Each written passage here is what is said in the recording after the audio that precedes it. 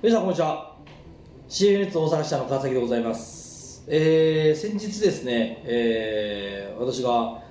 えー今まで何回か行っておりました、えー金融電卓のセミナーがですね、えー開催されまして、えーまあ、定員数は決めて、えー行っておりまして、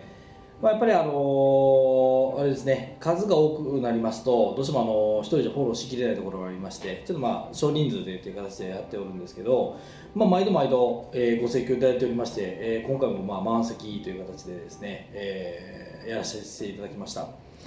えーもう本当にですね、あのまあ、今回、まあ、開いたあ内容でですね、まあ、来られてる方なんかでいうともう本当に、まあ、手だれというか、まあ、すごいいろいろ物件をも持ってらっしゃってですね。で、まあ、再度もう一度ご勉強し直したいというような形で、えーご来ていただいておりまして。で、まあ、金融電卓の使い方等ですね、まあ、学んで帰っていただいて今実際、まあ、自分の持ってる物件をまあ分析してみようとか、えーじゃあ売却者どうなるのとか、えーそういったことをですね、えーまあ、学びにですねこう来ていただいて、まあ、非常にこうためになったっていうのを声をいただいてですねあ、まあ、私もやってよかったなとあの非常に、えー感じております。えーまたですね、えー不定期開催になっておりますので、えー次はそうですね6月、7月、8月ぐらいでですね、えーまたできたらなと思っておりますので、また、えー開催が決まりましたらですね、この告知させていただきますので、えぜひ皆さん、えー、ふるってご参加いただければと思います。でまあ、そういったあのセミナーでもそうですし、まあ、既存でお付き合いあるお客様からもやはりまあ最近お話しいただくのは売却のお話が圧倒的に多くてですね、まあ、最近でも売却の、えーまあ、媒介でですね、え契約何回か結ばさせてもらったことがありましてでまあ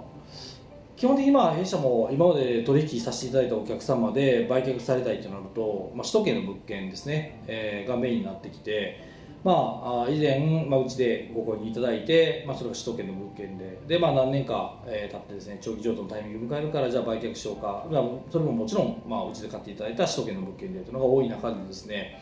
まあ、ここに来てあの大阪の物件も、えーちょこちょこと、えー売却させていただくような、えーお話もありましてですねで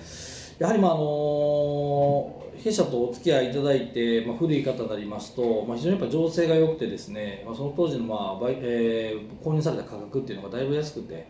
で、まあ、あそこからですね、まあ、特許を経て、えーやっぱこの大阪の市場自体にこの民泊のやっぱり考え方っていうのが流れ込んできていることもありまして、まあ、それで使えるようなあ案件に関してはですね非常にまあ価格が伸びてるというようなところもありまして、まあ、それにつられて、えーやっぱり、えーそうですね名前が通ってるところ、まあ、特に、まあ、あ南って言われるところですね、まあ、心斎橋難波あたりの駅に近い、えーようなエリアですと、まあ、非常にですね、まあ、いろんな多角的な使い方ができるというところもありまして、あのーまあ、物件の価格が伸びているというようなところがあります。で実際、まあ、あの今高値で取引されている中でも私たちもその携わってやらせていただいてるんですけど、まあ、事実あの非常にまあ売りの情勢としては今非常にいいなっていうのはあそういった点からもですね、えー感じますし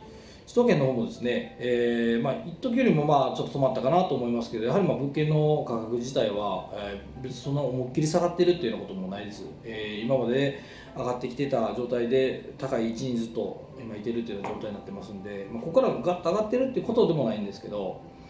うん。まああの